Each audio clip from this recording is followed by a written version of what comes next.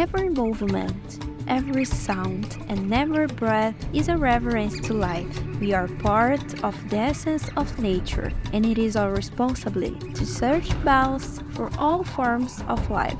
As Miss Eco Brazil 2024, I am celebrating beauty with purpose, ensuring my commitment to nature and humanity. Representing Brazil makes me feel very honored especially for being part of a warm and welcome nation that, despite challenges, has valuable lessons to teach the world through its practice. Today, I feel ready in body, soul, and heart for the next step of this journey. We will embark to Egypt, the land of mysteries and civilization, rich in ancestry that guides us through the history of humanity, revealing its secrets and beauty. Every grain of sand in the desert tells millennia-old story of a people who knew how to respect and utilize resources to build culture, principles, and values. I am excited to experience these unforgettable stories in Egypt, an enchanting country